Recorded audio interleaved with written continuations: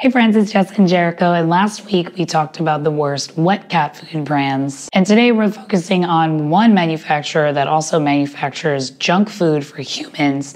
So we kind of have to take a step back and ask if they're producing junk food for humans, can their cat food really be healthy? Let's take a look. The first worst cat food brand we'll take a look at is a beloved vet recommended brand. I'm going to change the name, but I'm sure you can guess which it, what it is.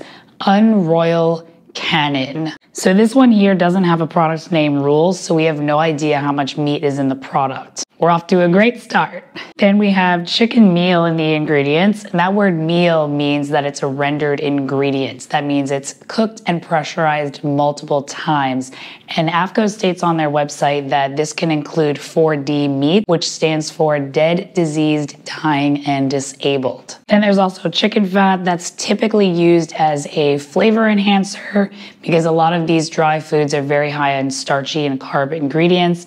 Manufacturers know that that's not part of the cat's natural diet, so they add these flavor enhancer palatants to make the food more enticing for the cat to eat it. Then we have corn, brewer's rice, wheat gluten, pea fiber, wheat, corn gluten meal, rice hulls, dried plain beet pulp.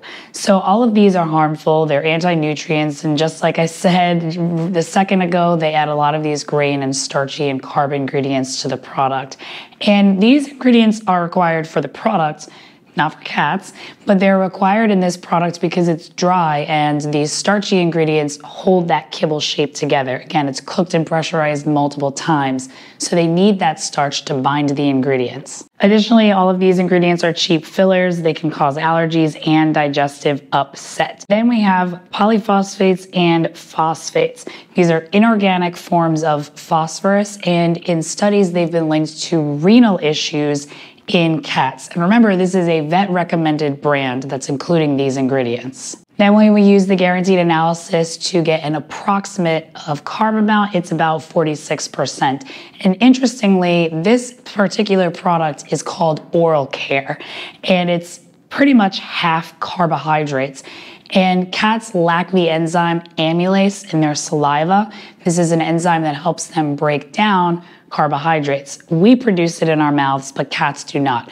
So, how can this high carbohydrate food be good for their teeth if they can't properly break down carbohydrates in their mouth? The next worst cat food brand that's made by the same manufacturer is called Crimes.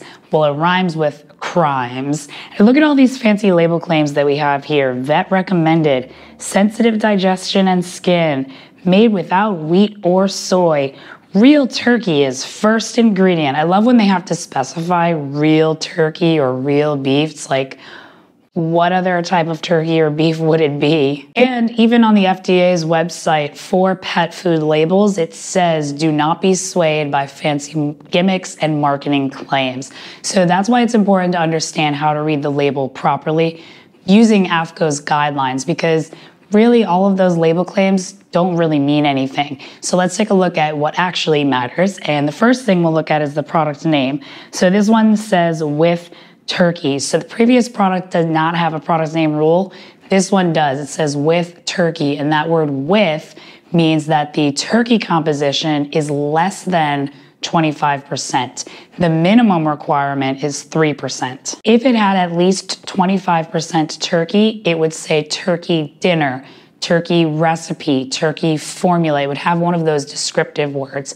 But this word with means less than 25% and the minimum requirement is only 3%. Then we look at the meat ingredients. We have turkey, chicken byproduct meal, chicken meal, chicken fat, and fish oil. So two of these ingredients are a mystery. Well, really three because chicken byproduct meal and chicken meal, those are both rendered ingredients probably not that great quality because it can include 4D meats. But the byproduct meal is what's more concerning because byproducts could literally mean any type of part. It's essentially leftovers from the human food industry. And I can buy all types of chicken parts at my local grocery store, like necks, wings, backs, feet.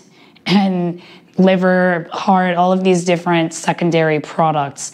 So we have to question what kind of leftovers are actually going into cat food. The other mystery is the fish oil. What type of fish? Is it salmon? Is it is it menhaden fish oil? Is it krill? Is it is it sardine? Is it tuna? There are so many different types of fish. And if the manufacturer isn't has no idea what type of fish they're using in the fish oil, how can we feel comfortable and safe about feeding this to our cat? And how could this be good for sensitive skin and digestion if it has all these mystery meat ingredients. I mean, cats need meat to survive and thrive. Then for the other ingredients, we have ground whole grain corn, brewer's rice, ground sorghum, beet pulp, caramel color, brewer's dried yeast. So remember on the front of the label, it says no wheat or no soy but it still includes all of these starchy, carbohydrate rich ingredients that aren't appropriate for cats. They can't digest these easily, and this specific product says that it's for sensitive skin and digestion. And when we use the guaranteed analysis to get an approximate on the carb amount, it's 41% carbs. So this is higher than the average. The average is about 33%. It's still a little less than the previous products, but again, this is way higher than what the cat would naturally eat, which is around 8% from a mouse. Give me a polydactyl thumbs up if this is helpful so far so more cat parents that want to feed their cats better can find this video. Thank you. The next worst cat food brand that we'll take a look at is typically marketed as treats, and I'm sure you can guess what it is just by looking at the label. But very interesting, they actually provide feeding instructions on the label, and it does say that it's complete and balanced as a complete meal, which is insane to me. The product name here is Chicken Flavor. So this is separate from the previous one that we just looked at with turkey. This one says chicken flavor. So that word flavor means that the minimum requirement drops down to 0% and it's guaranteed less than 3% chicken because of the with rule. So it's if it said with chicken, then that would be a minimum of 3%. But this one says chicken flavor, so that means the minimum requirement is 0%. So they could get away with not putting any chicken in this product.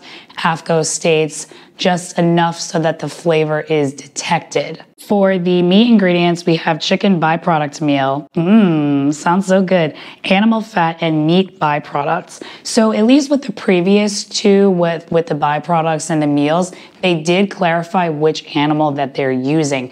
But with this one, it just says meat byproducts what kind of meat? It could literally be any type of meat. I feel like I talk about this in every single video, but there's a CRS report for Congress on the animal rendering industry that states that these byproducts, these rendered ingredients, can include dead animals from animal shelters. Scary, I know, but I have other videos with solutions. These aren't the only types of videos that I make, I promise. Now, there are chicken ingredients in the ingredients list, but we know that that composition is less than 3%. So the majority of the meat based ingredients in here are a complete mystery. Then we have ground corn, brewer's rice, wheat flour, brewer's dried yeast. Again, these are not appropriate for cats.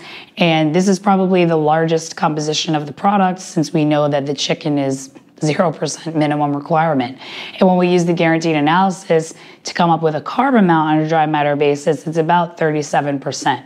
So more than a third of this entire product is from carbohydrates, aka ingredients that cats aren't designed to digest, especially in such large quantities. Now, I'm not saying if you're feeding these worst cat food brands to throw them out immediately. Cats are very, very sensitive to food changes, so definitely check out my transition plan right over Meow. It's specifically for picky cats, so you can feed whatever he's eating now to wet or raw. Thanks for watching.